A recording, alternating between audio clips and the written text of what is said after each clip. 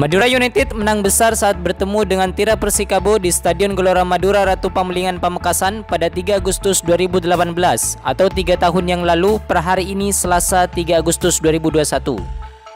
Pada laga tersebut, Madura United tertinggal lebih dulu melalui aksi Radanfa Abu Bakar di menit 39.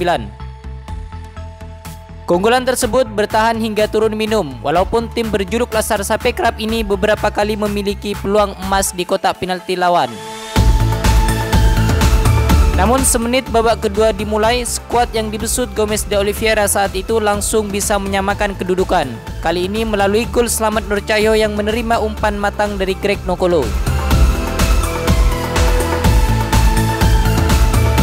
Sukses menyamakan kedudukan, Madura United tidak mengkendorkan serangan, bahkan menambah daya gedor dengan menurunkan striker asingnya Mamado Samasa dengan menarik keluar Beni Wahyudi.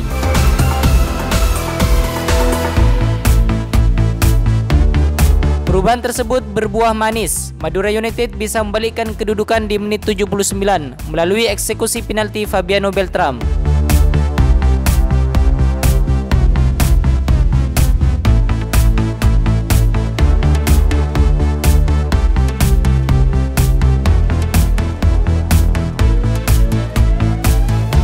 Tidak puas dengan menang 2-1, 3 menit kemudian Selamat Nur Cahyo kembali menyerangkan si kulit bundar usai menerima asis dari Alfat Fatir.